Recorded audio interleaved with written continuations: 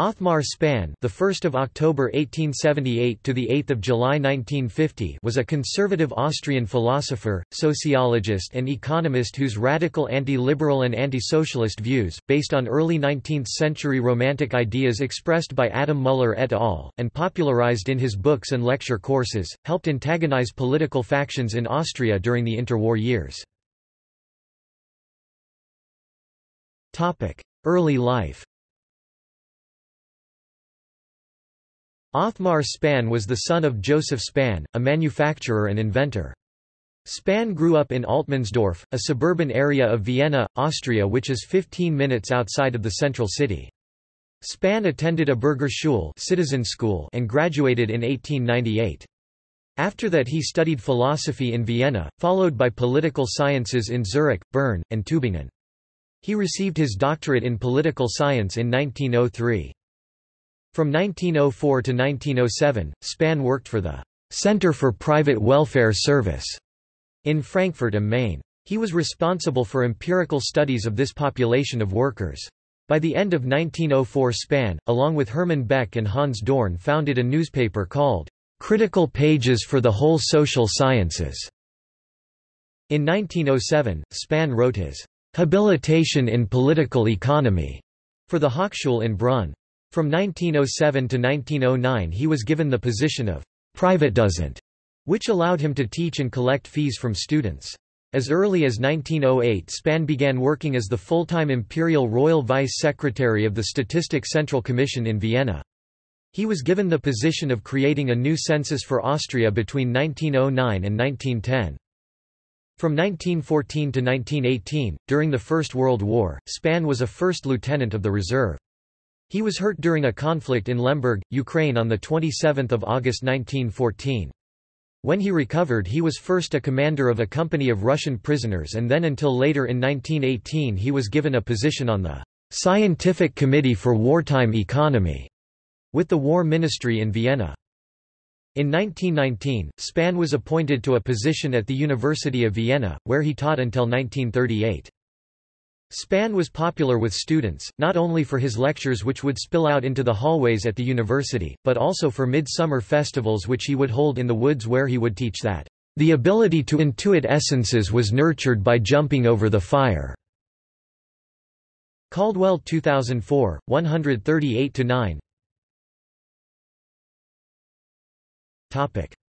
Activism Repeatedly, Spann tried to draw the ruling power's attention to his authoritarian theory of a corporate state, which he thought be introduced immediately for the benefit of all. In 1928, he joined the Militant League for German Culture. Around 1930, he also joined the Nazi Party. Notable students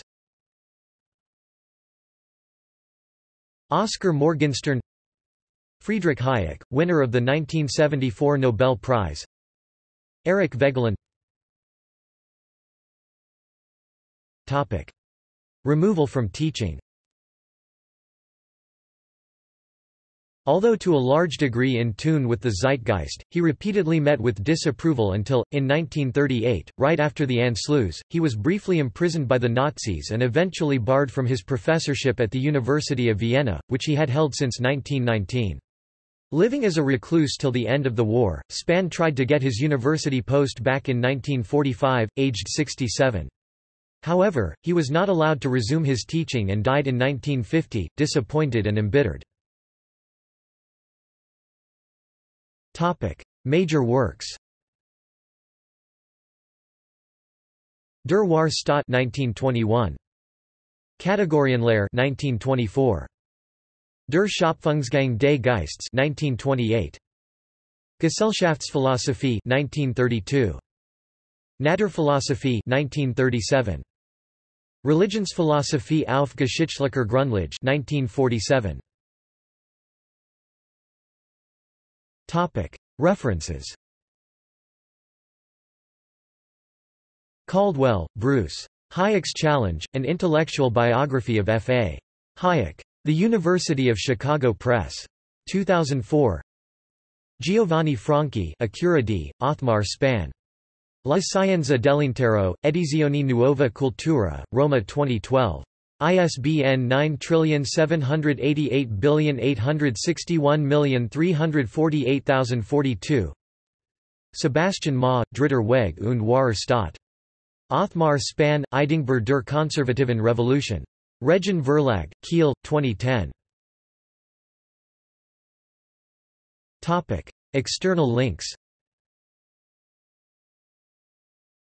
Dooyeweerd, Spann, and the Philosophy of Totality A Historical Tour of the University of Vienna Anthony Carty. Alfred Verdross and Othmar Spann, German Romantic Nationalism, National Socialism and International Law.